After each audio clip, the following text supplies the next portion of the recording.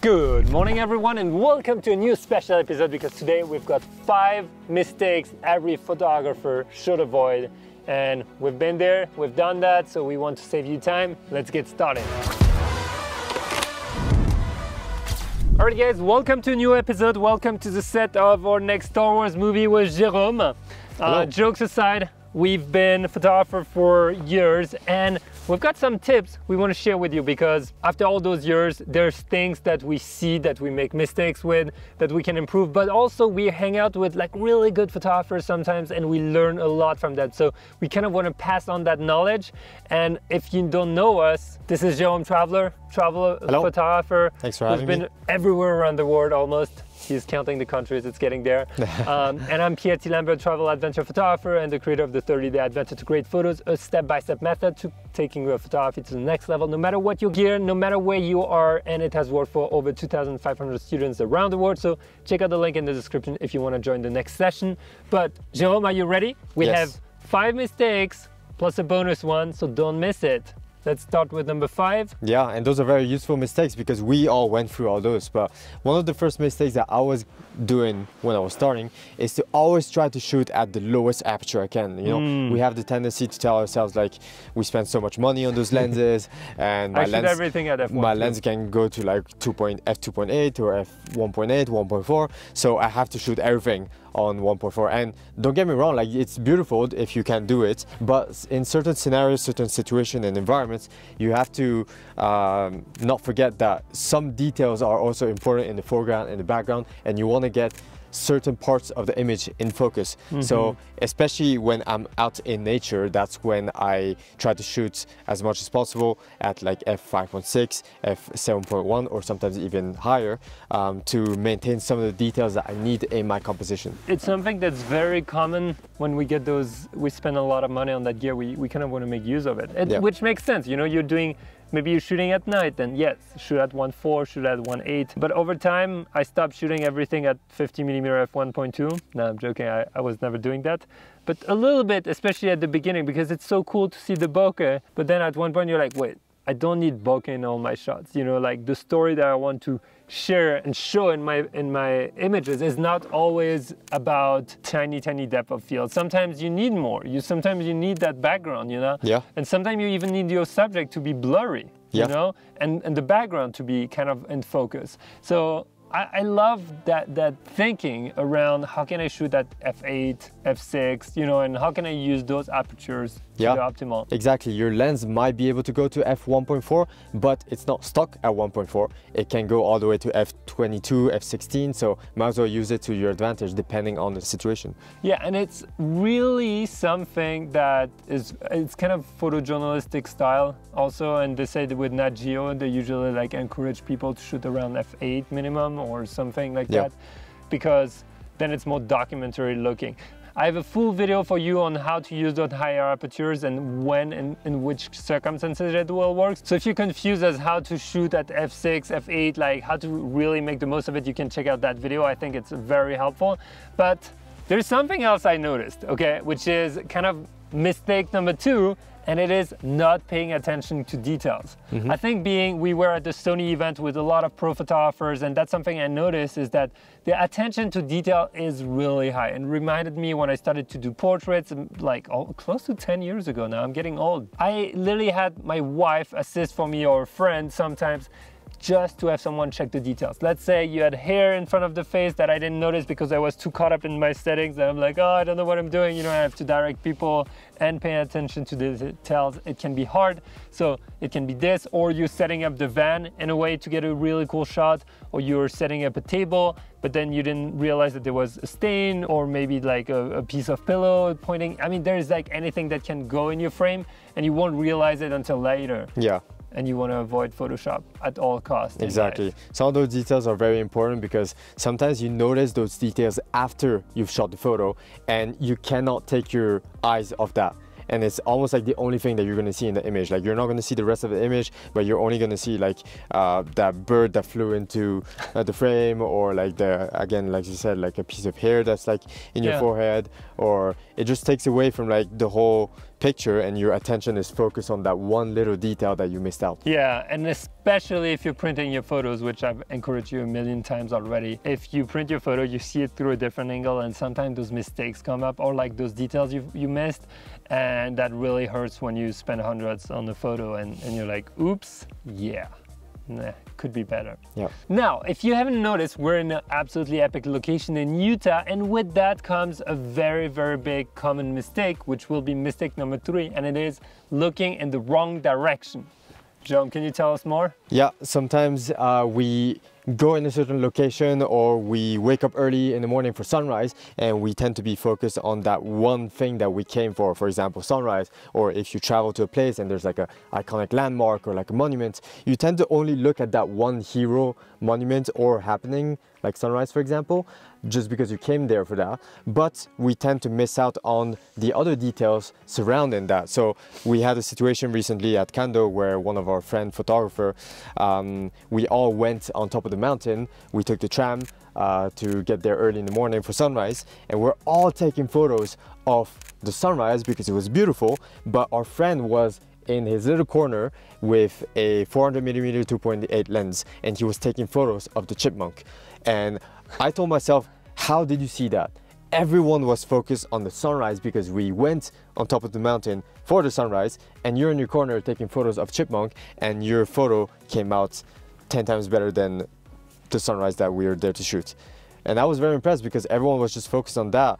But then he just took a step back and he focused on perhaps the other happenings that happened during sunrise. Maybe the chipmunks come out from their little cave early in the morning to you eat some little flowers. flowers. Yeah, he was literally holding the flower like that and eating the flower. Oh my god, I want to see Which that. was amazing. Sometimes you need to take like one or two step backs and look at what else is there in your environment that you might be missing out on because you're too focused on your one hero subject. Especially if you're trying to get cinematic shots. If you're trying to paint a whole picture of a place, you need different angles, you need different things. And yesterday at sunrise, uh, we were at the moonscape overlook in Utah, and everyone's looking at the sunrise. And so it's something, what you're talking about is something I've been practicing for several years now. And I went around and looked and I found this Jeep Wrangler with a couple and I was like, wait, the reflection on the Jeep is really cool. Can we play with something like that? And we had played with it, I think, at a sunset at Kando. Um, Emmett was taking some portrait of a girl with the car and, and I was playing also with the light reflecting. And then I played with that again at sunrise and I talked to the couple, I had them walk and like be over there.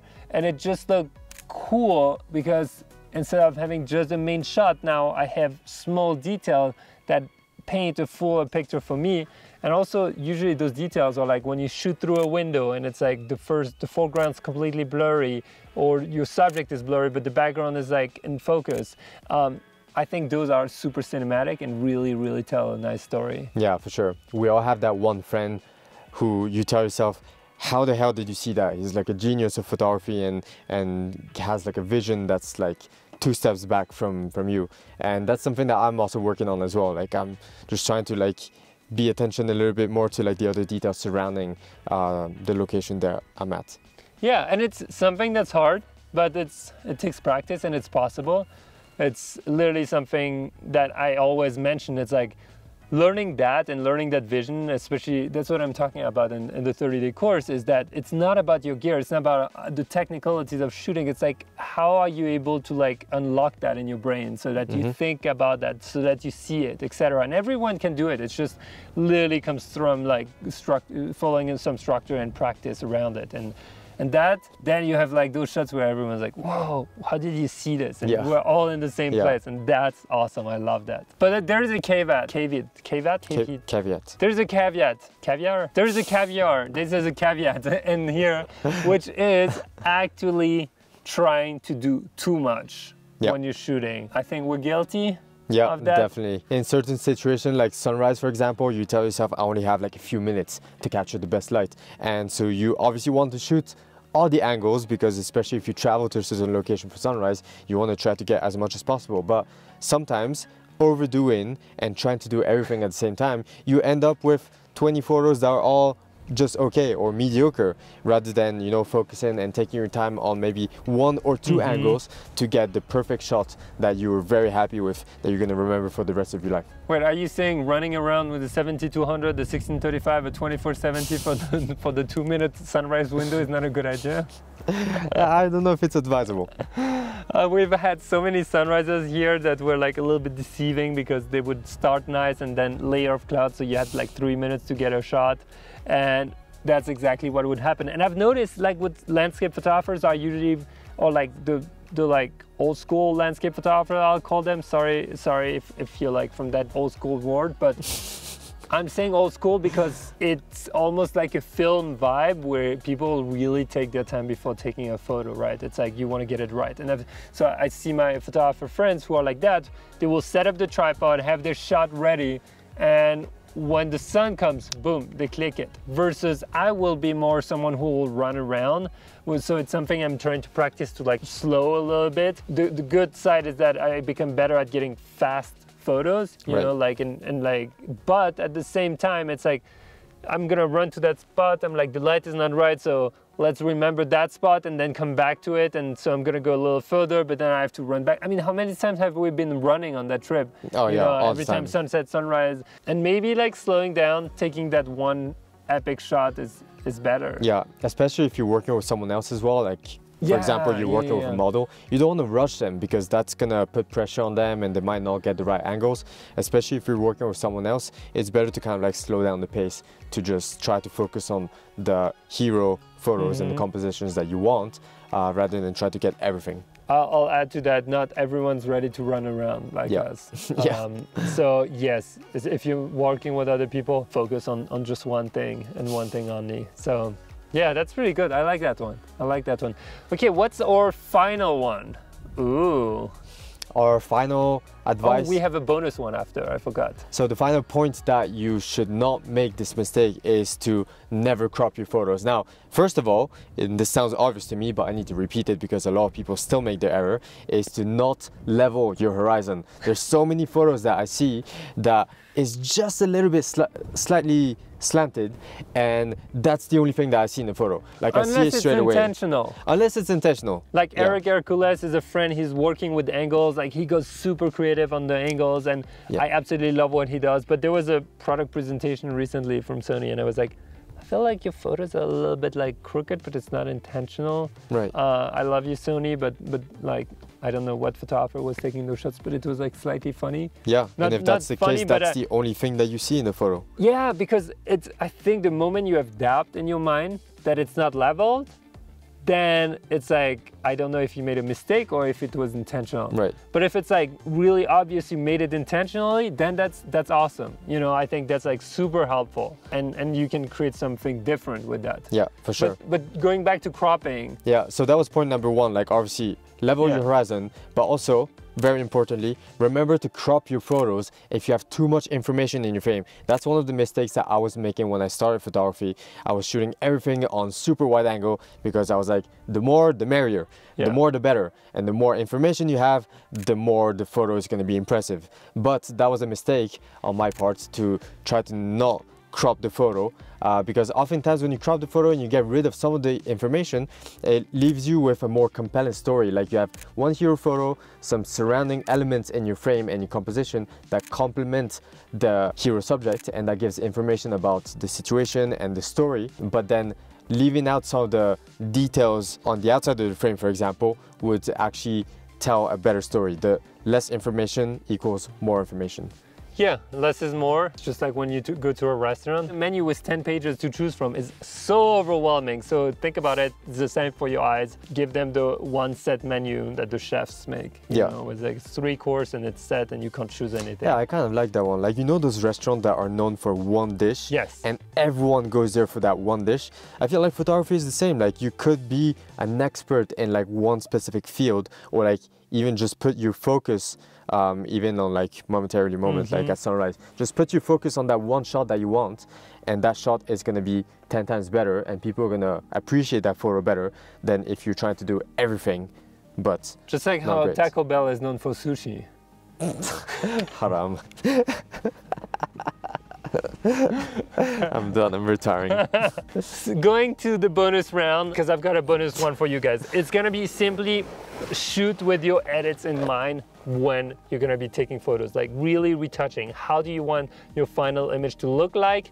All the photos that you've seen that I've, I've shared have been edited with my presets, and I kind of know that when I'm gonna go in and shoot.